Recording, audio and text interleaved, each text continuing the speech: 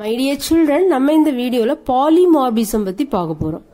ஆக்சுவலா இந்த பாலிமார்பிசம் ஒரு கிரீக் டேர்ம் இங்க பாலினா மெனி ஆர் மோர் தென் ஒன்னு சொல்லுவோம். மார்ப்னா ஷேப்ஸ் ஆர் ஃபார்ம்ஸ் இப்போ பாலிமார்பிசம்னா able to take more than one form இப்போ ஒரு மெசேஜ் இல்ல ஒரு ஃபங்க்ஷனை மோர் தென் ஒன் ஃபார்ம்ல நம்மளால டிஸ்ப்ளே பண்ண முடிஞ்சிச்சுன்னா அதான் பாலிமார்பிசம்னு சொல்லுவோம். இப்போ இந்த பாலிமார்பிசத்தை நம்ம இந்த object oriented programming with C plus பிளஸ்ல எப்படி யூஸ் பண்றதுன்னு பார்க்கலாம். இந்த டாபிக் நம்ம கம்ப்யூட்டர் சயின்ஸ் டெக்ஸ்ட் புக்ல பேஜ் நம்பர் டூ ஃபார்ட்டி நைன்ல இருக்கு. இந்த பிப்டீன்த் சாப்டருடைய லேர்னிங் அப்ஜெக்டிவ்ஸ் என்னன்னு பார்க்கலாம். இந்த பிப்டீன்த் சாப்டர்ல நம்ம ஃபர்ஸ்ட் ஓவர்லோடிங் பத்தி கத்துக்க போறோம். இங்க ஓவர்லோடிங்னா தெரியும். ஒரு ஆப்ரேட்டர் இல்ல ஒரு ஃபங்க்ஷனை மோர் தென் ஒன் ஃபார்ம்ல நம்ம யூஸ் பண்ண முடிஞ்சிச்சுன்னா அதுதான் ஓவர்லோடிங்னு சொல்லுவோம். இங்க பாத்தீங்கன்னா டூ டைப்ஸ் ஆஃப் ஓவர்லோடிங் இருக்கு. ஒன் வந்து ஆப்ரேட்டர் ஓவர்லோடிங் செகண்ட் வந்து ஃபங்க்ஷன் ஓவர்லோடிங் ஸோ ஃபர்ஸ்ட் இந்த ஓவர்லோடிங்கோட பர்பஸ் அண்டர்ஸ்டாண்ட் பண்ண போறோம். அப்புறமா பாத்தீங்கன்னா இந்த function overloading constructors operator overloading use பண்ணி சி பிளஸ் பிளஸ் ப்ரோக்ராம்ஸ் எப்படி கன்ஸ்ட்ரக்ட் பண்றதுன்னு பார்க்க போறோம். கன்ஸ்ட்ரக்ட் பண்ணதுக்கப்புறம் இந்த பாலிமாபிசம் இதே சேம் கான்செப்டை யூஸ் பண்ணி இந்த ப்ரோக்ராம் எப்படி எக்ஸிக்யூட் பண்ணி டீபக் பண்றதுன்னு பார்க்கலாம்.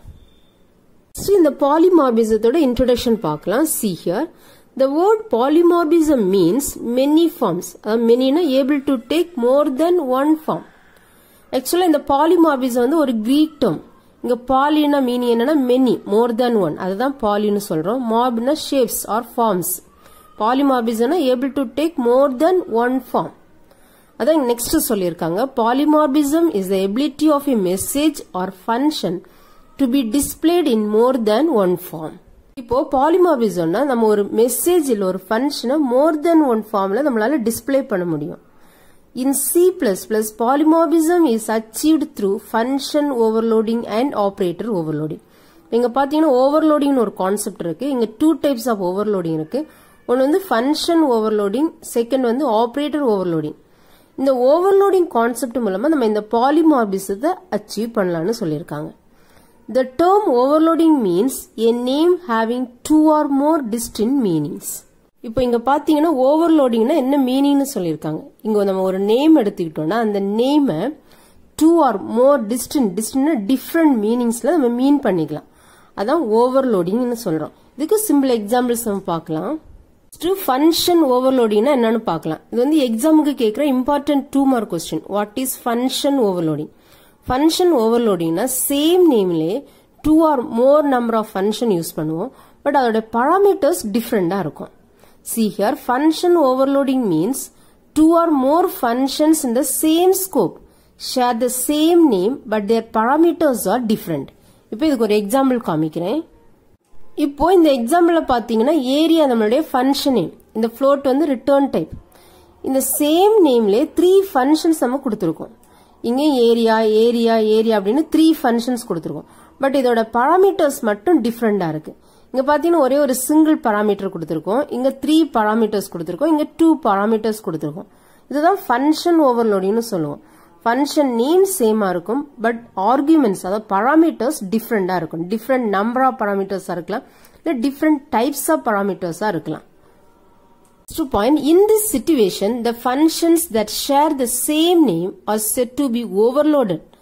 And the process is called function overloading. பாத்தீங்கன்னா மூணு ஃபங்க்ஷனுக்குமே சேம் நேம் நம்ம கொடுத்துருக்கோம். Same name three function share பண்ணியிருக்கோம் ஸோ இதெல்லாம் ஓவர்லோடட்னு சொல்றோம். சேம் நேம்லேயே நம்ம த்ரீ ஃபங்க்ஷன்ஸ் கொடுத்துருக்கோம். இந்த மாதிரி கொடுக்கறத நம்ம ஓவர்லோடட்னு சொல்றோம். இந்த ப்ராசஸ் தான் ஃபங்க்ஷன் ஓவர்லோடிங்னு சொல்றோம். இங்க பாத்தீங்கன்னா ஃபங்க்ஷன் நேம் சேமா இருக்கும். இங்க பாராமீட்டர்ஸ் டிஃப்ரெண்டா இருக்கும். அதான் function overloading next point the number and types of a functions parameters are called the function signature இப்போ இங்க பாத்தீங்கன்னா இதான் ஃபங்க்ஷன் சிக்னேச்சர்னு சொல்லுவோம். இப்போ ஃபர்ஸ்ட்ல பாத்தீங்கன்னா ஒரே ஒரு சிங்கிள் பராமீட்டர் தான் கொடுத்துருக்கோம். ஃப்ளோட் டேட்டா டைப்ல கொடுத்துருக்கோம். செகண்ட்ல ஃப்ளோட் த்ரீ பராமீட்டர்ஸ் கொடுத்துருக்கோம். த்ரீயுமே ஃப்ளோட்டில் கொடுத்துருக்கோம். தேர்ட்ல டூ பராமீட்டர்ஸ் தான் கொடுத்துருக்கோம். ஸோ இதே மாதிரி நம்பர் ஆஃப் பாராமீட்டர்ஸ் இல்லைன்னா டைப்ஸ் ஆஃப் அந்த ஃப்ளோட்டுக்கு மேலே இன்டீஜர் கொடுக்கலாம் ஸ்ட்ரிங் கொடுக்கலாம். இந்த டைப்ஸ் ஆஃப் பராமீட்டர்ஸ் நமக்கு சேஞ்ச் ஆகும். ஸோ இதை தான் நம்ம ஃபங்க்ஷன் சிக்னேச்சர்னு சொல்கிறோம் நெக்ஸ்ட் இந்த ஓவர்லோடட் ஃபங்க்ஷனை கம்பைலர் எப்படி மேட்ச் பண்ணி இன்வோக் பண்ணணும்னு சொல்லியிருக்காங்க. Then when you call an overloaded function, the compiler determines the most appropriate definition to use. But comparing the argument types you have used to call the function with the parameter types specified in the definitions. இப்போ இங்க பாத்தீங்கன்னா நம்ம இந்த ஃபங்க்ஷனை கால் பண்ணும்போது compiler எப்படி ஒவ்வொரு ஃபங்க்ஷனையும் match பண்ணும்? அதான் இங்க சொல்லியிருக்காங்க. இப்போ நம்ம இந்த ஃபங்க்ஷனை கால் பண்ணும்போது என்ன பண்ணுவோம்? இந்த பராமீட்டர்ஸ் என்ன டைப்ல கொடுத்துருக்கோமோ அதுக்கேற்ற மாதிரி ஆர்குமெண்ட்ஸ் பாஸ் பண்ணுவோம்.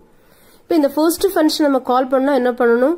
ஃப்ளோட்டிங் பாயிண்ட் டேட்டா டைப்ல ஒரு ஆர்குமெண்ட் பாஸ் பண்ணுவோம். அதே இந்த செகண்ட் ஃபங்க்ஷன் uh, நம்ம கால் பண்ணோம்னா three floating point data pass பண்ணணும். அது மாதிரி தேர்ட் ஃபங்க்ஷனுக்கு நம்ம கால் பண்ணோம்னா two different floating point data நம்ம இங்கே பாஸ் பண்ணணும். ஸோ இதே மாதிரி நம்மளுடைய arguments function with arguments type and number of ஆர்கியூமெண்ட்ஸுக்கு ஏற்ற மாதிரி என்ன பண்ணும்? ஒவ்வொரு ஃபங்க்ஷனையும் மேட்ச் பண்ணி கால் பண்ணும். அதான் இங்கே சொல்லியிருக்காங்க.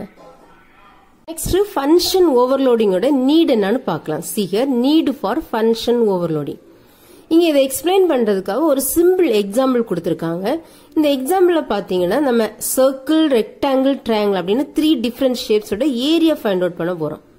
அதான் consider the situation to find the area of circle triangle and rectangle the following function prototype is given இங்க ஃபர்ஸ்ட் பாத்தீங்கன்னா ஏரியா ஆஃப் சர்க்கிள் கால்குலேட் பண்றதுக்கு நம்ம இங்க ஒரு ஃபங்க்ஷன் கொடுத்துருக்கோம்.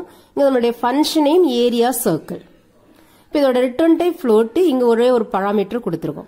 அதே மாதிரி ஏரியா ஆஃப் ட்ரையாங்கிள் கால்குலேட் பண்ணுறதுக்கு அனதர் ஃபங்க்ஷன் நேம் கொடுத்துருக்கோம் ஏரியா ஆஃப் ட்ரையாங்கிள் இங்கே ரிட்டர்ன் டைப் ஃப்ளோட் கொடுத்துருக்கோம் இங்கே த்ரீ பராமீட்டர்ஸ் கொடுத்துருக்கோம். அதே மாதிரி ஏரியா ஆஃப் ரெக்டாங்கிள் கால்குலேட் பண்ணுறதுக்கு ஏரியா ரெக்டாங்கிள் அப்படின்னு அனதர் ஃபங்க்ஷன் நேம் கொடுத்துருக்கோம் இதோட ரிட்டர்ன் டைப் ஃப்ளோட்டு இங்கே டூ டிஃப்ரெண்ட் பராமீட்டர்ஸ் கொடுத்துருக்கோம்.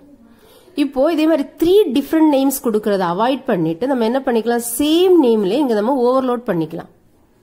இப்போ இங்கே பார்த்தீங்கன்னா ஏரியா சேம் நேம்ல த்ரீ ஃபங்க்ஷன்ஸ் கொடுத்துருக்கோம். இதான் ஃபங்க்ஷன் ஓவர்லோடிங்னு சொல்கிறோம் ஸோ ஃபர்ஸ்ட் வந்து ஏரியா ஆஃப் சர்க்கிள் கால்குலேட் பண்ணுறோம் செகண்ட் ஃபங்க்ஷனில் ஏரியா ஆஃப் ட்ரையாங்கிள் கால்குலேட் பண்ணுறோம் தேர்ட் ஃபங்க்ஷனில் ஏரியா ஆஃப் ரெக்டாங்கிள் கால்குலேட் பண்ணுறோம் இந்த ஃபங்க்ஷன் நேம் சேமாக இருக்குது பராமீட்டர்ஸ் டிஃப்ரெண்ட்டாக இருக்குது அந்த ஃபார்முலாக்கு ஏற்ற மாதிரி பராமீட்டர்ஸ் டிஃப்ரெண்ட்டாக நம்ம இங்கே கொடுத்துருக்கோம். இதுதான் ஃபங்க்ஷன் ஓவர்லோடிங்னு சொல்லுவோம். இதனால நம்ம என்ன பண்ணிக்கலாம்னா கோடு மெயின்டைன் பண்ணுறதுக்கு நமக்கு ஈஸியாக இருக்கும். ஃபாஸ்ட் எக்ஸிகியூஷன் நடக்கும். இதுதான் இதோட அட்வான்டேஜ் நெக்ஸ்ட் இந்த ஃபங்க்ஷன் ஓவர்லோடிங் யூஸ் பண்ணி ஒரு சிம்பிள் எக்ஸாம்பிள் ப்ரோக்ராம் பார்க்கலாம். இந்த ப்ரோக்ராம்ல நம்ம என்ன பண்ண போறோம்னா த்ரீ டிஃப்ரெண்ட் வேஸ்ல ஒரு நம்பரை டிஸ்ப்ளே பண்ண போறோம். ஃபர்ஸ்ட் இன்டீஜர் நம்பரா டிஸ்ப்ளே பண்ண போறோம். டென்னை இன்டீஜரா டிஸ்ப்ளே பண்றோம். அதுக்கப்புறம் அதே டென்னை ஃப்ளோட்டிங் பாயிண்ட் டேட்டால டிஸ்ப்ளே பண்ண போறோம். டென் பாயிண்ட் ஒன் இந்த மாதிரி. அதுக்கப்புறம் இதை ஒரு ஸ்ட்ரிங்கா டிஸ்ப்ளே பண்ண போறோம். இந்த ப்ரோக்ராம் எப்படி எழுதுறதுன்னு பார்க்கலாம். ஸோ நம்ம ப்ரோக்ராமுக்கு தேவையான ஹெடர் ஃபைல் அடுத்து நேம் ஸ்பேஸ் இன்க்ளூட் பண்ணியிருக்கோம் இங்கே ஃபர்ஸ்ட் பிரிண்ட் ஆஃப் அப்படின்னு ஒரு ஃபங்க்ஷனை டிஃபைன் பண்ணியிருக்கோம் இப்போ நம்ம ப்ரோக்ராமை எக்ஸிக்யூட் பண்ணும்போது ஃபர்ஸ்ட்டு இந்த மெயின் ஆஃப் ஃபங்க்ஷன்ல ஒவ்வொரு ப்ரோக்ராமும் எக்ஸிக்யூட் ஆகும். டைரெக்டாக இங்கேருந்து எக்ஸிக்யூட் ஆகாது. இப்போ நம்ம இந்த பிரிண்ட் ஆஃப் ஃபங்க்ஷனை கால் பண்ணும்போது என்ன ஆகும்? இந்த பிரிண்ட் ஆஃப் ஃபங்க்ஷனை கால் ஆகி இந்த body of the function execute ஆகும்.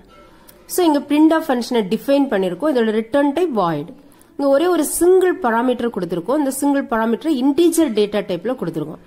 எப்போ நம்ம இந்த ஃபங்க்ஷனை கால் பண்ணும்போது ஒரு இன்டீஜர் ஆர்குமெண்ட் பாஸ் பண்றோமோ அப்போ என்ன ஆகும் இந்த ஃபங்க்ஷன் கால் ஆகி body of the function execute ஆகும். நெக்ஸ்ட் இதே ஃபங்க்ஷன் நேம்ல பிரிண்ட் பிரிண்ட் ஆஃப் ஃபங்க்ஷன் நேம்லே அனதர் ஃபங்க்ஷனையும் டிஃபைன் பண்ணிருக்கோம். இங்க பராமீட்டர் டிஃப்ரெண்டா இருக்கு. இங்க டேட்டா டைப் டிஃப்ரெண்டா இருக்கு. இங்கேயும் சிங்கிள் பராமீட்டர் தான் யூஸ் பண்ணிருக்கோம். பட் இங்க டபுள் டேட்டா டைப்ல கொடுத்துருக்கோம். இங்க ப்ரீவியஸ்ல இன்டீஜர் டேட்டா டைப்ல கொடுத்துருக்கோம். இப்போ இந்த ஃபங்க்ஷன் எப்போ கால் ஆகும்னா இந்த பிரிண்ட் ஆஃப் ஃபங்க்ஷன் நம்ம கால் பண்ணும்போது இந்த டபுள் டேட்டா டைப்ல ஒரு ஆர்குமெண்ட் பாஸ் பண்ணோம்னா இந்த ஃபங்க்ஷன் நமக்கு இங்க கால் ஆகும். கால் ஆகி body of the function execute ஆகும். நெக்ஸ்ட் இதே ஃபங்க்ஷன் நேம்ல அனதர் ஃபங்க்ஷனும் டிஃபைன் பண்ணிருக்கோம் பிரிண்ட் ஆஃப் ஃபங்க்ஷன் ஸோ இதுதான் ஃபங்க்ஷன் ஓவர்லோடிங் சேம் ஃபங்க்ஷனே வித் டிஃப்ரெண்ட் ஆர்குமெண்ட்ஸ் ஃபர்ஸ்ட் இன்டிஜர்ல கொடுத்துருக்கோம் செகண்ட் டபுள்ல கொடுத்துருக்கோம் தேர்ட் பராமீட்டர் ஸ்ட்ரிங்ல கொடுத்துருக்கோம் ஸ்ட்ரிங் சி இப்போ நம்ம ஒரு ஸ்ட்ரிங்கை இதுக்கு ஆர்குமெண்டா பாஸ் பண்ணோமோ இந்த ஃபங்க்ஷன் கால் ஆகும். கால் ஆகி body of the function execute ஆகும். இப்போ மெயின் ஃபங்க்ஷன்ல இருந்து பார்க்கலாம். சிஹர் மெயின் ஆஃப் ஃபங்க்ஷன் நமக்கு தெரியும் ஒரு ப்ரோக்ராம் நம்ம கம்பைல் பண்ணுவோம். ஃபர்ஸ்ட் கம்பைலர் இந்த மெயின் ஆஃப் ஃபங்க்ஷன் எங்க இருக்குன்னா சர்ச் பண்ணும் சர்ச் பண்ணி மெயின் ஆஃப் ஃபங்க்ஷன்ல இருந்தா ஒவ்வொரு ப்ரோக்ராமையும் எக்ஸிக்யூட் பண்ணும் see body of the function கொடுத்துருக்கோம். பிரிண்ட் ஆஃப் டென் நம்ம இந்த பிரிண்ட் ஆஃப் ஃபங்க்ஷனை கால் பண்றோம். கால் பண்ணும்போது இங்க என்ன பண்ணிருக்கோம்? இன்டீஜர் வேல்யூ இன்டீஜர் வேல்யூ ஆர்குமெண்டா பாஸ் பண்றோம். இப்போ என்ன ஆகும்? இங்க பாத்தீங்கன்னா இங்க தான் நம்ம இன்டீஜர் பராமீட்டர் கொடுத்துருக்கோம். ஸோ இந்த ஃபங்க்ஷனுக்கு மேட்ச் ஆகும். மேட்ச் ஆகி இந்த ஃபங்க்ஷனை கால் பண்ணி body of the function execute ஆகும். இங்க பாடி ஆஃப் த ஃபங்க்ஷன் என்ன கொடுத்துருக்கோம்? C out it is integer இங்க டபுள் கோட்ஸ்ல இருக்கிறது அப்படியே டிஸ்ப்ளே ஆகும். ஐ வேரியபிளோட வேல்யூ இப்போ நம்ம டென் இங்க பாஸ் பண்றோம்னா டென் அப்படின்னு இங்க டிஸ்ப்ளே ஆகும். இங்கே இங்க பாத்தீங்கன்னா அவுட்புட்ல இட் இஸ் இன்டீஜர் டென் அப்படின்னு இங்க டிஸ்ப்ளே ஆகும். நம்ம டென் பாஸ் பண்ணிருக்கோம். ஸோ டென்னை ரிசீவ் பண்ணி என்ன பண்ணும்? இங்க டிஸ்பிளே பண்ணும். இட் இஸ் இன்டீஜர் டென் அப்படின்னு இங்க டிஸ்ப்ளே ஆகும். என்டிஎல் நியூ லைன் டிஸ்ப்ளே பண்றது கொடுக்குறோம். நெக்ஸ்ட் இங்க எங்கேன் அனதர் ஸ்டேட்மெண்ட் கொடுத்துருக்கோம். Print of ten point one zero இப்போ இதே சேம் ஃபங்க்ஷனை கால் பண்றோம். பட் இங்க நம்மளுடைய parameter ten point one zero floating point data டைப்ல இருக்கு. ஸோ இங்க பாத்தீங்கன்னா இங்க ஃப்ளோட்டிங் பாயிண்ட் டேட்டா டைப்புக்கு மேட்ச் ஆகுது. இந்த டபுள் எஃப் ஸோ இது என்னாகும்? இந்த டென் பாயிண்ட் ஒன் ஜீரோவை ரிசீவ் பண்ணும். இப்போ இந்த argument one ten point one zero தான் இந்த எஃபோட வேல்யூவா இருக்கும். So C out it is floating double கோட்ஸ்ல இருக்கிறது அப்படியே டிஸ்ப்ளே ஆகும். அடுத்தது F எஃபோட value ten point one zero அப்படின்னு இங்க டிஸ்ப்ளே ஆகும். இப்போ இங்க அவுட்புட்ல பாத்தீங்கன்னா ten it is float ten point one அப்படின்னு இங்க டிஸ்ப்ளே ஆகும். ஸ்டேட்மெண்ட் பிரிண்ட் ஆஃப் இங்க டபுள் கோட்ஸ்ல ஒரு ஸ்ட்ரிங் கொடுத்துருக்கோம் டென் இப்போ இந்த பிரிண்ட் ஆஃப் ஃபங்க்ஷன் நம்ம கால் பண்ணும்போது ஒரு ஸ்ட்ரிங்க ஆர்குமெண்டா பாஸ் பண்றோம். இப்போ ஸ்ட்ரிங் ஆர்குமெண்டா பாஸ் பண்ணுவோம் இந்த ஸ்ட்ரிங்குக்கு மேட்சா இருக்கிற ஃபங்க்ஷன் இதுதான். So print of string C இப்போ டிஎன் டென் தான் இந்த சிக்கு மேட்ச் ஆகுது. ஸோ ஸ்ட்ரிங் சி இந்த சி வேரியபிளோட value ten TN so body of the function execute ஆகுது. C out it is string it is string அப்படின்னு டபுள் கோட்ஸ்ல இருக்கிற டிஸ்பிளே ஆகும். அடுத்தது சியோட வேல்யூ டிஎன் அது நமக்கு இங்க டிஸ்பிளே ஆகும். இங்கே பார்த்தீங்கன்னா அவுட்புட் ஸ்கிரீன்ல நமக்கு இட் இஸ் ஸ்ட்ரிங் டென் அப்படின்னு இங்க டிஸ்பிளே ஆகும். இப்போ இதுதான் இந்த ப்ரோக்ராமோடைய அவுட்புட் எல்லாருமே போட்டு பாருங்க. அவ்வளவுதான் நம்ம டாபிக் மை டியர் சில்ட்ரன் நம்ம இந்த வீடியோல 15th சாப்டர் பாலிமார்பிசம் பார்த்தோம். பாலிமார்பிசம்னா என்னன்னு பார்த்தோம். அதுக்கப்புறம் பாலிமார்பிசம் எப்படி அச்சீவ் பண்றதுன்னு பார்த்தோம். இங்க ஓவர்லோடிங்னு ஒரு கான்செப்ட் இருக்கு. அந்த ஓவர்லோடிங் மூலமா நம்ம பாலிமார்பிசத்தை அச்சீவ் பண்ணலாம். ஓவர்லோடிங் எடுத்துக்கிட்டீங்கன்னா டூ டைப்ஸ் ஆஃப் ஓவர்லோடிங் இருக்கு. ஃபங்க்ஷன் ஓவர்லோடிங் ஆப்ரேட்டர் ஓவர்லோடிங் இங்க நம்ம ஃபங்க்ஷன் ஓவர்லோடிங்னா என்னன்னு பார்த்தோம். அதுக்கு எக்ஸாம்பிள் பார்த்தோம். ஃபங்க்ஷன் ஓவர்லோடிங்னா சேம் ஃபங்க்ஷனே வித் டிஃப்ரெண்ட் பாராமீட்டர்ஸ் அதான் ஃபங்க்ஷன் ஓவர்லோடிங் நெக்ஸ்ட் இந்த ஃபங்க்ஷன் ஓவர்லோடிங்கோட நீட் என்னன்னு பார்த்தோம். அதுக்கு எக்ஸாம்பிள் பார்த்தோம். அதுக்கப்புறம் இந்த ஃபங்க்ஷன் ஓவர்லோடிங் பேஸ் பண்ணி ஒரு சிம்பிள் எக்ஸாம்பிள் ப்ரோக்ராம் பார்த்தோம். Thank you children